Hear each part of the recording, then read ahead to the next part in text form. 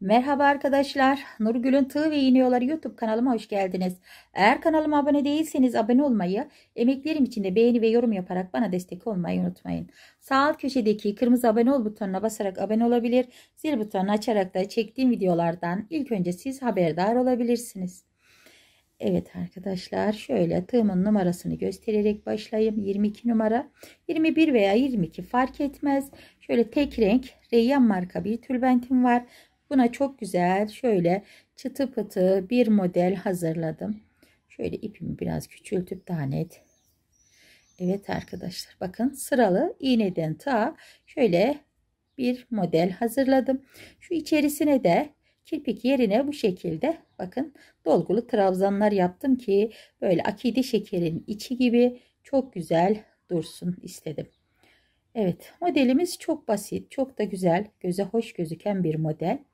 Hem basit hem de böyle gösterişli çıtı modelleri seviyoruz. Siz de ben de. O yüzden bu şekilde arkadaşlar size uygun e, yapımı kolay, görünüşü çıtı olan bir iğneden tığa bir model hazırladım. Yani iğne oyasını iğne oyasında olduğu gibi değil de biraz daha tığa yakın, daha kolay bizleri e, sizleri düşünerek bu şekilde hazırladım. Evet arkadaşlar bakın şöyle kirpik 3 tane kirpiğin arasına bu şekilde hazırladım. Evet şöyle bir de sallantılı haline bakayım ve modelimize de başlayalım. Bir de arkadaşlar biliyorsunuz Tığ Oyaları Dünyası diye yeni bir kanal açtım. Ee, kanalımın e, yorumlar kısmına böyle sabitleyeceğim. O linkten girebilirsiniz. Tığ Oyaları Dünyası kanalıma e, linkini yorumlara bırakıp sabitleyeceğim. Oradan abone olursanız, beğeni ve yorum yaparak destek olursanız sevinirim. Şimdiden e, hepinize çok teşekkür ediyorum arkadaşlar. Eğer Tığ ve Tığ Oyaları Dünyası kanalıma abone olur, beğeni yapar, desteklerseniz çok mutlu etmiş olursunuz beni. Evet, direkt hemen modelimizin yapılış kısmına geçelim.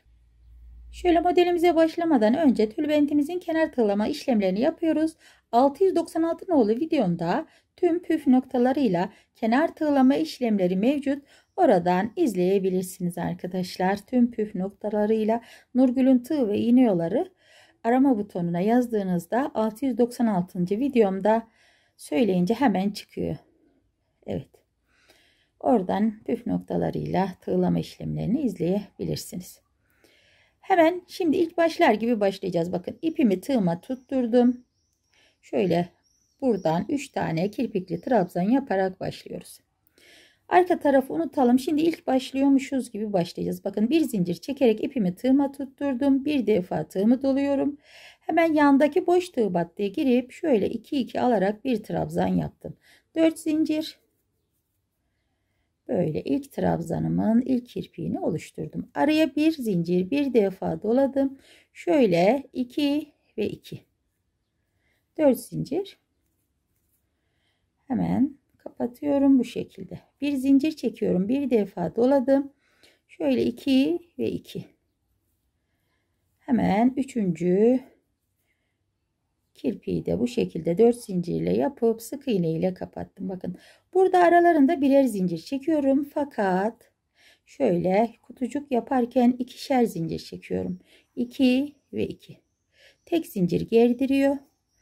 Şöyle iki zincirimi çekip 2 ve 2. 3 tane bu şekilde kutucuk yapacağız kirpikli. 3 trabzandan sonra da 3 tane ikişer zincirli kutucuklar hazırlıyoruz bakın. Ve 5 tane zincir. Ters tarafına çevirdim. Şöyle ortadaki kutucuğumuzun içine kenardaki kutucuğumuz bakın boş kalacak. Ortadaki kutucuğun içine 5 zinciri sabitledim ve bir zincirle dönüyorum. Bakın burası boş ortadakine. Hemen döndüm bir zincirimle buraya yuvanın içine sık iğne ile sabitledim. 8 tane zincir çekiyorum sıkı sıkı. 4, 5, 6, 7 ve 8. Kapattım. Buraya ilk kirpiğimi oluşturdum. Yine 8 tane zincir çekiyorum. Şöyle ikinci kirpiğimi yaptım. Bakın buraya dikkat edin arkadaşlar. Burası şöyle 4 tane zincirden oluşacak. 2 defa tığımı doladım. Şöyle 2 2 2. Başka türlü e, bu kadar güzel durmadı. Bunu unutmayın. Son kirpiği bu şekilde trabzan olarak yapıyorum ve 13 tane zincir çekiyorum. 4 5 6 7 8 9 10 11 12 ve 13. Hemen ters tarafına çevirdim. Bakın. İlk bu kirpiğin içine girip sık iğne ile sabitledim. Yanına bir kirp, e, sık iğne daha yapıyorum. Burası önemli arkadaşlar. Şöyle güzel durması için bu sık iğne çok büyük iş yapıyor. Hemen bir zincirle tekrar düz tarafına döndüm. Bakın toplanmıyor kenar kısmı. Şöyle güzel e, sık iğne gibi kalıp gibi durduruyor. Şimdi iki zincir çekiyorum. Şöyle kapattım. Toplamda buraya 12 tane ikişer zincirli kirpik yapıyorum. Bakın.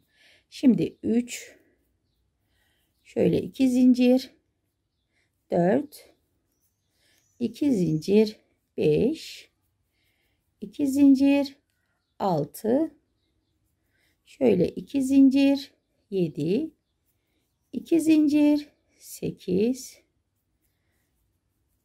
9 10 şöyle arkadaşlar. Bakın şu baştakini de muhakkak sayın. Ben şimdi size söylemedim herhalde. Şöyle 12 tane sık iğnemi yaptım. Buraya hemen e, şey e, trabzanın arasına da giriyorum ve sıkı sıkı 4 zincir çekiyorum bakın 4 zincirle yuvaya ineceğim tekrar şöyle sık iğne ile sabitledim. Bakın bu şekilde oluyor. Şöyle tutayım. Kalıp gibi gördüğünüz gibi sıkı sıkı yapınca bu şekilde oluyor. Şimdi yine ilk başladığımız kısım gibi şöyle bir zincirimi çekiyorum. Bir defa doladım. 2 2 alarak bir trabzan yaptım. Şimdi bu trabzanı boş tutuyorum arkadaşlar. Kirpik yapmıyorum. İlk e, giriş trabzanı olduğu için ayrılış kirpik yapışık çok kaba duruyor orada. O yüzden ikinci şöyle trabzanıma yapacağım. 4 zincirimi çekip sabitliyorum. 4 zincirim. Arasına bir zincir bir defa doladım. Hemen sıradaki 2 ve 2. 4 zincir.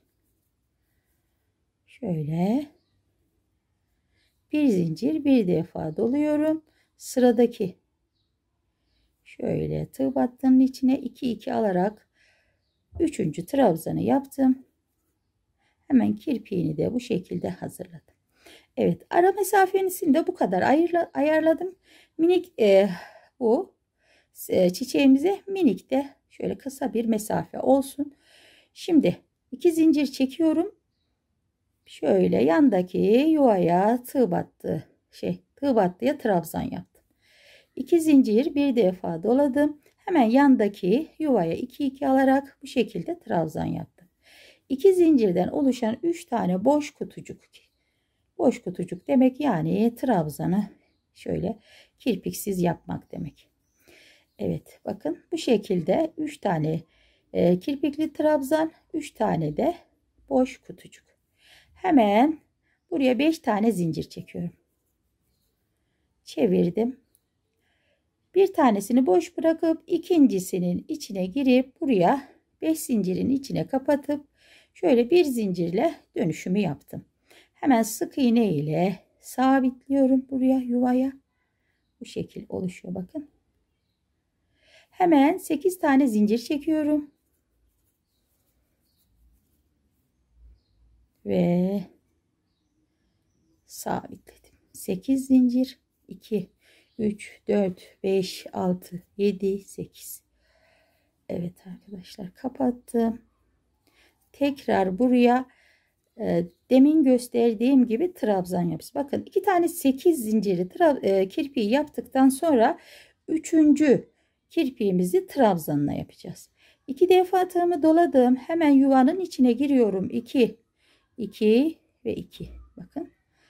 Üçüncü kirpiği bu şekilde trabzanlı yaptım. Ve 13 tane zincir çekiyorum. 2, 3, 4, 5, 6, 7, 7, şöyle hürrem 7, 8, 9, 10, 11, 12, 13. Şöyle ters tarafına çevirdim. Hemen bakın kirpiğin içine girip sık iğne ile 13 zincirimi bu şekilde sabitledim. Ve dibine arkadaşlar bir tane sık iğne yapıyorum. Bu önemli. Şöyle kenarının kalıp gibi güzel çıkması için bir zincirde çekip hemen buraya sık iğne ile sabitledim. Bir iki zincir.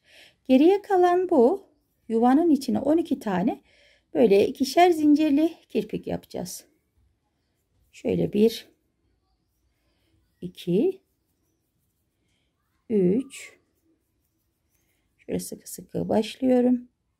4 5 Şöyle 2 zincir. 6 2 zincir. 7 2 zincir. 8 2 zincir. 9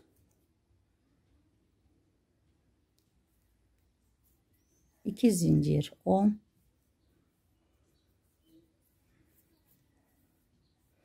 2 zincirimi çekiyorum. 11 Evet bakın bu şekilde baştaki sık iğne ile 12 ve buraya şöyle trabzanın arasına sadece bir sık iğne yapıyorum ve 4 tane zincir çekiyorum. 4 zincirimi çekip yuvanın içine sabitliyorum Şimdi arkadaşlar buraya yine 3 tane kirpikli trabzan yapacağız. Şöyle bir zincir çektim dibine. Bir defa tığımı doladım. Sıradaki yuvama giriyorum. 2 ve 2.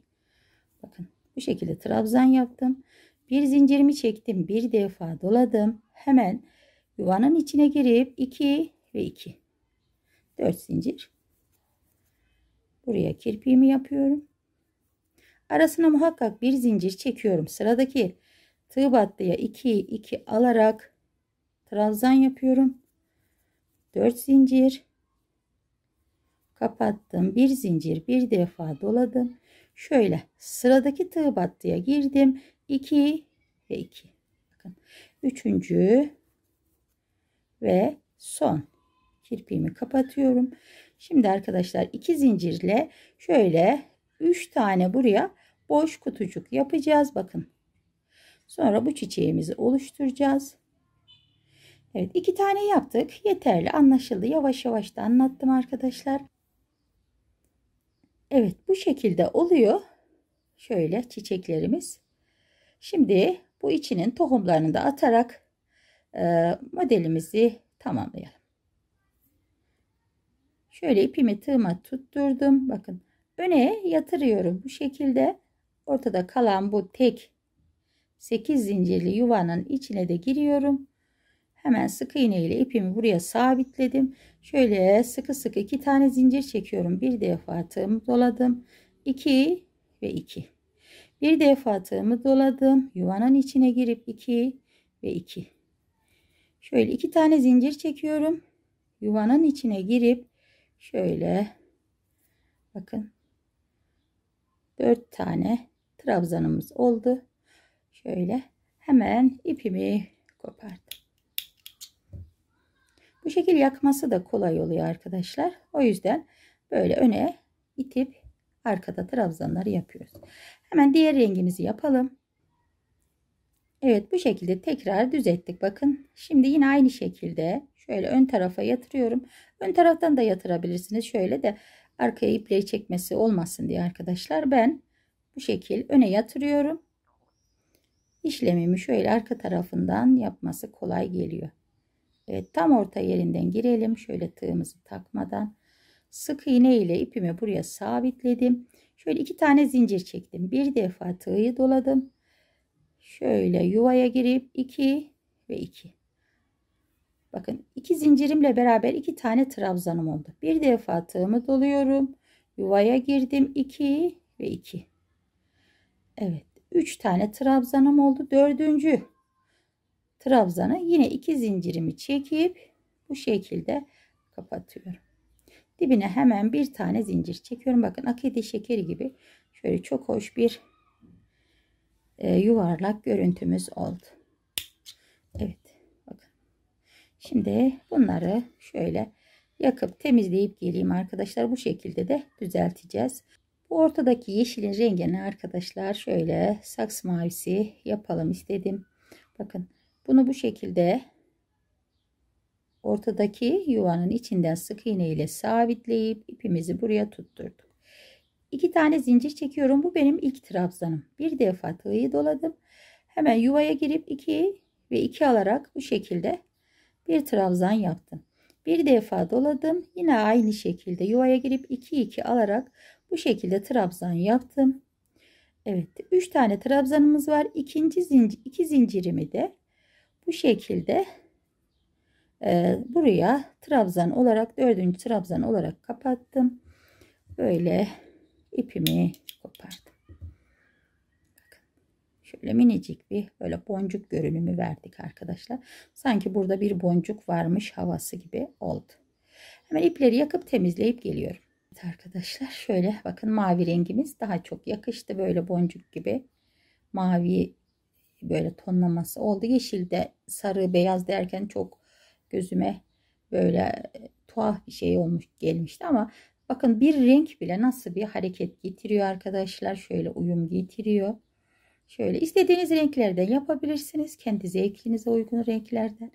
Bakın hem kolay hem çıtı pıtı. Bunun yerine dediğim gibi kirpik bile yapabilirsiniz. Kirpik veyahut da bu model yani trabzan yapmak bile modeli farklı bir modelmiş gibi yapar arkadaşlar. Bu modelden bir tane yapıp bir tane de kirpikliden yaparsanız mesela 5 zincirden 3 tane kirpik yaparsanız bu dolguların yerine sanki başka bir model yapmış gibi şöyle çok hoş duracaktır. Evet. Modelim bu şekilde arkadaşlar. Şöyle bunun yerine de eflatun da konulabilir. İstediğiniz renkleri değerlendirebilirsiniz zevk size ait. Şöyle bakın. Modelim bu şekilde. Sizler de emeklerim için beğeni ve yorum yaparak bana destek olursanız sevinirim. Allah'a emanet olun arkadaşlar. Hoşçakalın.